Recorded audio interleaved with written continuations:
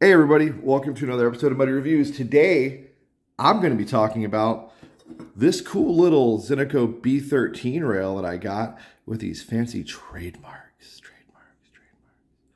So I got this guy in uh, two days ago, and I'm very pleased. Trademarks look so, look at those trademarks, man. Look at that. It looks so nice. So beautiful. Too bad I'm going to fucking paint it, but uh, whatever. Probably should have gone with the non-trademarked version in hindsight, being 2020 and all, and uh, kind of don't need trademarks. Whatever, I'll, I'll tape over them so when I'm LARPing, I can sit there and be like, ooh, look at my trademarks. They're so pretty. But either way, um, this is a really nicely done replica of the real Zenitco. Um, it feels really good. It's nice, nice material. It's made of an aluminum. Um, it feels like it was made out of a single block of aluminum instead of like cast metal or, or some shit. I could be wrong though. It totally could be cast metal. I'm not a fucking metallurgist and I'm not an engineer, but it feels nice and it looks really good. Um, you, as you can see, I've got three AKs on the table. I have the 74U on the table only because I want to show you the mount that's under this mount because the B13 will not fit on a 74U because of the rear sight being there and this fucker's too long. So we're not gonna we're gonna get to that in a moment.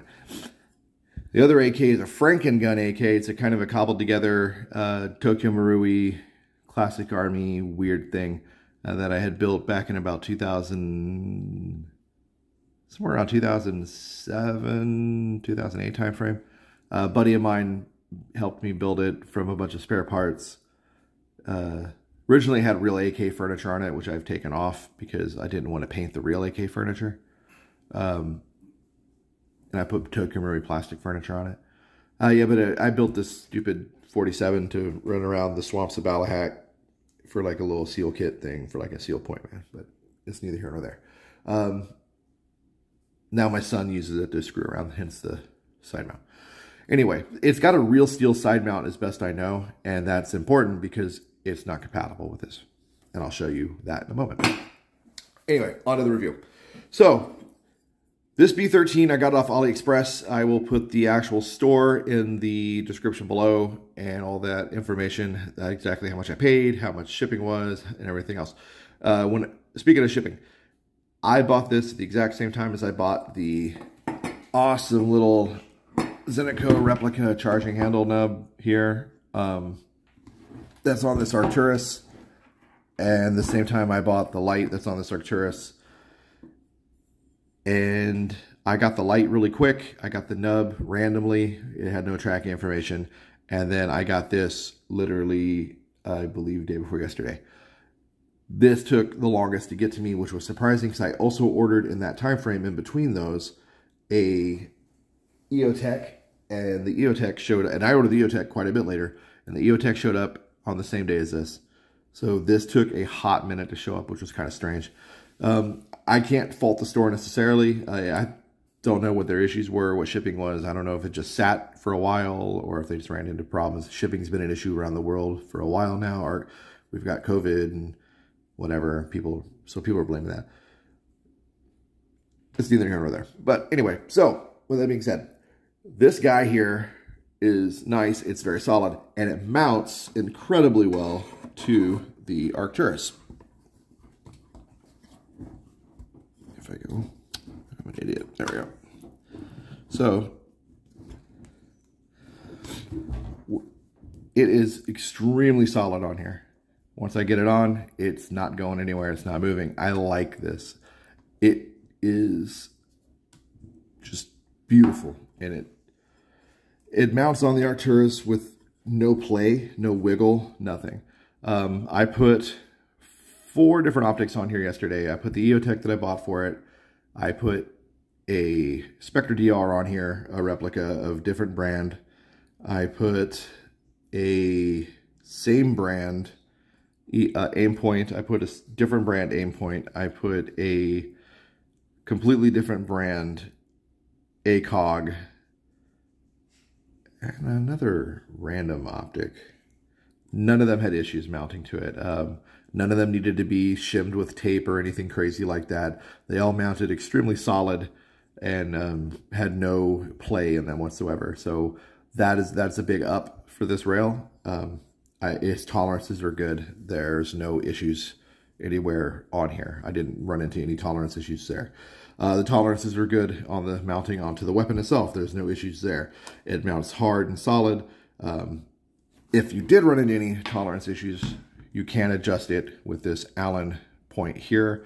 You just use an Allen wrench to tighten this down or loosen it as needed. And that'll, that'll tell you, that'll give you that uh, positive or negative purchase you need to make it fit better on your gun. Okay, so Arcturus is gone. Let's get her out of the way. Let's bring this guy over here. So the reason he's, this guy is cool, if you recognize this, is my build from uh, Medal of Honor Warfighter. This is a Preacher's gun from Medal of Honor Warfighter. And I decided to build this uh, last summer. I was just, had a wild hair up my ass. I was like, dude, I want to build that. Because I've always liked that level, and liked that game, and I built it. So anyway, uh, except for the grip tape, I added that myself just for shits and gigs. I know the B-13 is not going to fit on here. It is what it is. So, get this guy off. reason I'm showing you this, though, is this side mount is very similar to the side mount that is on the Arcturus. It's got that thinner profile, very similar. All right, so it won't go all the way on, but it does begin to go on with no issues.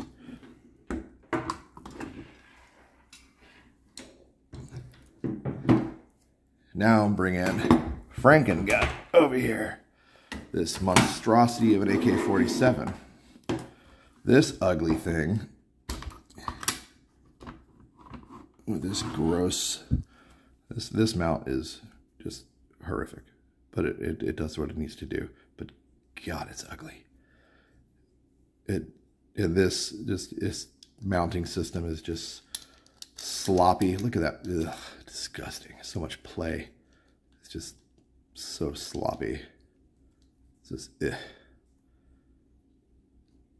Pathetic. Anyway,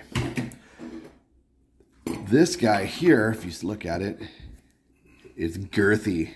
It's a, it's, it's, it's a big boy. It's a girthy, girthy thick boy. This thickness right here. B13 starts to go on. It's like, oh, I can, I can handle it. I can handle the girth. B13, you're a liar. You can't handle that girth. See, look at that. It can't, it can, it's just too much. It can't take all of it. And it won't go on all the way. So, that being said, you've got one of these thick boys. Yeah, I know there's not a screw in there. I know you people in the comments, there's screws missing. Yeah, no shit. It's laying next to me. Um, I took it out because it was giving me shit. Anyway, this guy here, and that's not why it won't go on. It's because the thickness here, this this fat girthiness, this big boy, just will not accept the B13. The B13 can't take it. She's just too tight. But this slut right here, look at that. She just takes it all. Goes right on. Just takes it. No issues. Bam. Girth, no issue. So anyway, that AK, no problem. And then we bring Preacher's gap back in. I'll put this guy. See this one here? You, know, you got your thin roll, thin groove, thin groove, whatever. But goes on. Now this one here, I will say, I don't know the brand of this mount who makes it. Um, I got this second hand from somewhere else. Where the fuck did I get this? I think I got it off eBay. Um, yeah, I did get it off eBay. It's a, it's another replica, but uh, it, it's all right. But it tends to loosen up after a while, and I have to like tighten it down, and it's a pain in the ass. But whatever. That's not what we're reviewing. That's not what I'm talking about bring this back in here. So, B13, good rail, well made, very solid. I have high hopes for this thing. Um, this is going to be the primary rail that I run on this Arcturus until I find a solution for a top cover with a rail because the CYMAs don't work on this Arcturus model that, that I've been able to discover and found. The one that my buddy picked up for his one of his Arcturus AK01 just didn't work. He had to put on his E&L. Until I could discover a better solution with the rail, this is my go-to. I'm very happy with the purchase and I will, like I said, put all the information in the description below. I hope this video helped you out if you've been on the fence about picking one of these AliExpress B13s up. Um, again, look at those trademarks, man. Look at that. It's just, it's nice. Don't be like me. If you're going to paint this, just don't even worry about the trademarks. It's not worth it. That might have been my delay. Um, yeah, I'm going to paint over it anyway. I'm going to tape it. But yeah, so if this helped out, I hope it did. Hit, hit that like button. Hit that subscribe button, all that YouTube nonsense. Uh, if you have any specific questions or have any comments you want to impart to me, put it in the comment section below and I will respond in as timely manner as I possibly can. And as soon as I'm physically able to get back out on the airsoft field and sling BBs, I will let you cats know how this uh, how this bad boy handled, how it worked out. And actually, I'm going to be doing another review very soon of the EOTech that I picked up. And then after that, I will be doing a complete uh, nut to butt video on this Arcturus build. So stand by for that. Take care. Thanks for checking out the video. I'll see you all in the next one.